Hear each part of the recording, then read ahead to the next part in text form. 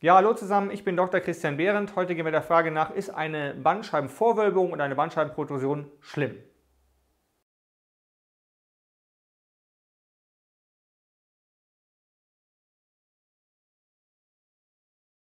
Ja, du hast vielleicht in deinem MRT-Befund gelesen, dass du eine Bandscheibenvorwölbung hast oder der Fachausdruck dafür ist ja Bandscheibenprotrusion, Vorwölbung, wie auch immer. Und jetzt willst du wissen, was sollst du machen? Der Doktor hat gesagt, ja, machst du so ein bisschen Krafttraining und dann wird das alles wieder gut. Ist das das Richtige? Äh, ist es überhaupt was Schlimmes und tut es überhaupt weh? Die erste Frage ist, tut es weh? Äh, das kann sein. Also du musst dir immer vor Augen führen, du gehst zum Arzt, der untersucht irgendwas und dann bleibt ja nicht viel übrig. Es gibt ja eigentlich neben der Untersuchung nicht viel. Ein Röntgenbild kann man machen und man kann MRT machen. Und was sehen wir denn auf so einem MRT? Auf so einem MRT sieht man halt die Bandscheiben. Was anderes sieht man halt nicht so richtig. Und insofern kann man halt nur die Bandscheiben beurteilen. Und nachdem du so im MRT warst, guckt der Doktor halt die Bandscheiben an und entweder ist die Bandscheibe in Ordnung oder sie ist vorgewölbt oder sie hat einen Bandscheibenvorfall oder sie hat eine Bandscheibendegeneration äh, oder sie ist überhaupt nicht mehr da oder total kaputt. So, das sind so die Möglichkeiten. Und ähm, dann ist die Frage, tut so eine Vorwölbung weh? Das kann ich dir nicht beantworten, diese Frage, denn es kann sein, dass sie wehtut. Ja, es kann aber auch sein, dass irgendwas ganz anderes wehtut, dass du irgendeine muskuläre Verspannung hast und man hat ein Foto zufällig davon gemacht. Ja, ich blende dir hier mal was ein. Du siehst jetzt hier einen äh, Autoreifen und dieser Autoreifen ist völlig in Ordnung. Und daneben da siehst du, äh, dass da sozusagen das eigentlich ein Lastwagen ist.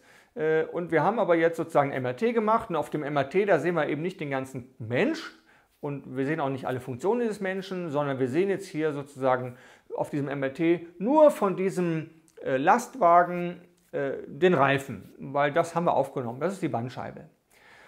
So, und jetzt sehen wir ein Bild darunter. Da siehst du, dass diese, dieser Autoreifen, der ist irgendwie halb zusammengedrückt. Und äh, da würdest du denken, okay, das ist jetzt eine Bandscheibenvorwölbung. Du siehst, das wölbt sich unten der Reifen so vor, wie wenn der halt so ein bisschen platt ist. Und dann denkt man, hey, da ist sozusagen jetzt die Bandscheibenvorwölbung, das muss jetzt wehtun. Und ja, jetzt guck dir mal den Lastwagen dazu an. Und wenn du den Lastwagen siehst, dann siehst du, dass der ziemlich viele Steine in seinem Kofferraum geladen hat. Und die Steine in dem Kofferraum, äh, die sind ja eigentlich der Verursacher von dieser Bandscheibenvorwölbung, also von diesem Reifen, der da eigentlich jetzt so ein bisschen halb platt ist. Aber von diesen Steinen, da haben wir eigentlich kein Foto, sondern wir haben das Foto von der Bandscheibe gemacht eben. Und wenn du noch das Bild darunter anschaust, dann siehst du, dass wir da einen vollkommen äh, platten äh, Autoreifen haben und wir sehen auch hier wieder nur das. Das ist ja die Aufnahme von unserem MRT. Du siehst daneben ja auch die Bandscheibe, äh, die ist daneben dargestellt. Und du siehst äh, hier Platte, Autoreifen, Platte, Bandscheibe. Muss man sagen, hm, äh, kaputt. Jetzt guck dir mal den Lastwagen an. Schau mal, wie viel der hinten an Steinen im Kofferraum hat oder auf seiner Ladefläche. Und du siehst, der ist bis oben in voll. Das heißt, jetzt stell dir mal vor, du fährst jetzt mit diesem Lastwagen in die Werkstatt und sagen, oh, platter Reifen.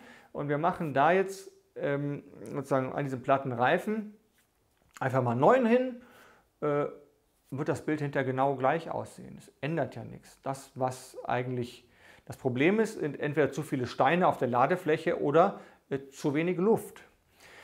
So eine Bandscheibe, die können wir schlecht mit Luft aufpumpen, also können wir nur an den Steinen arbeiten, die da auf der Ladefläche liegen. Und äh, das ist dann eigentlich die Lösung. Wir müssen also gucken, was sind denn die Steine? Und das blende ich dir jetzt mal ein.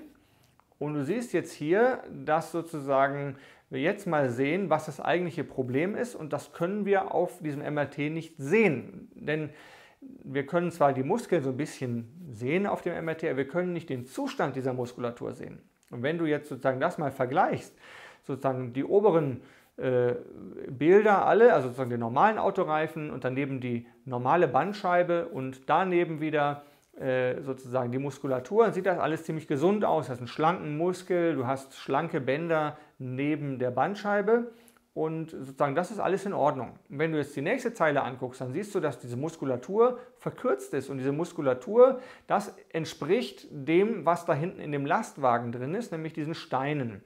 Und du siehst dann auf diesem mittleren Bild in die Bandscheibenvorwölbung. Das heißt, die Bandscheibe ist noch nicht geplatzt, es ist halt einfach nur ein bisschen vorgewölbt.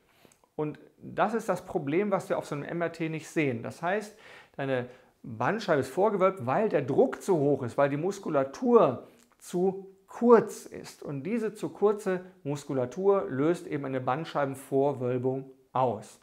Wenn die Muskulatur noch kürzer wird, noch mehr drückt, das siehst du auf den unteren Bildern, dann ist die Muskulatur so dick und so kräftig geworden, dass sich hier die Bandscheibe richtig zerquetscht und dann kann es zu einem Bandscheibenvorfall kommen. Und wie du jetzt hier sehen kannst, ist sozusagen diese Bandscheibenvorwölbung eigentlich eine Vorstufe zum Bandscheibenvorfall. Das ist ja auch bekannt, das ist nichts Neues.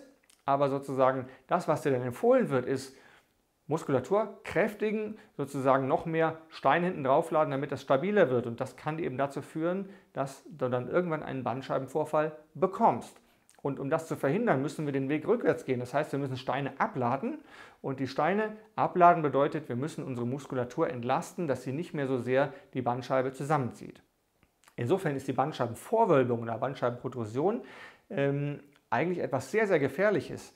Denn so eine Bandscheibenvorwölbung führt ja irgendwann dazu, dass die Bandscheibe dann vielleicht mal ganz platzen kann. Und insofern muss man es wahrnehmen. Und wenn du das hörst von deinem Arzt, musst du sagen, okay, ich muss meine Bandscheibe entlasten und das geht eben dadurch, dass wir die Muskulatur entlasten. Das ist gar nicht so einfach, wie das geht. Das wirst du im Laufe der Zeit auch hier auf meinem Kanal erfahren. Lade dich ein, den Kanal zu abonnieren, die Glocke zu aktivieren, dann bekommst du mal Informationen. Äh, ich werde es aber ganz, ganz genau erklären, von der Entstehung bis sozusagen der Lösung, äh, die man machen kann, um sozusagen diese Muskulatur wieder auf Länge zu bringen. Grundsätzlich sind das Dehnungsübungen, aber wer schon mal Dehnungsübungen gemacht hat, merkt, dass das vielleicht gar nicht so einfach geht, wie man sich das so vorstellt.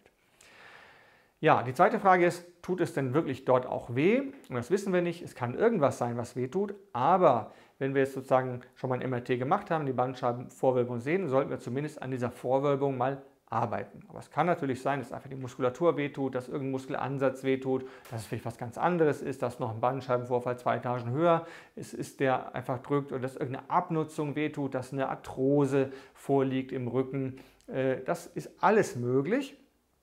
Ähm, auch hier werde ich dir, wenn du möchtest, noch viele Informationen zu liefern. Aber sozusagen das heutige Thema ist ja sozusagen, ist ein eine Bandscheibenvorwölbung schlimm oder nicht? Ja, es ist schlimm. Es ist zwar an sich nicht schlimm in dem Sinne, aber es muss dir einfach ein Alarmsignal sein, etwas zu tun. Du musst deine Muskulatur dehnen, noch besser, wenn du sie vorhin dehnbar machst, aber wie das geht, das erfährst du weiter. Ich habe zu dem Thema Bandscheibenvorwölbung, Bandscheibenprotrusion viele Videos gemacht. Ich werde noch viele Videos machen, weil das ein Thema ist, was völlig unterrepräsentiert ist. Und insofern wirst du unten in den Kommentaren immer mehr Videos finden, die sich mit diesem Thema beschäftigen. Ich würde mich freuen, dich wieder zu begrüßen. Vielen Dank fürs Zuschauen. Bis zum nächsten Mal.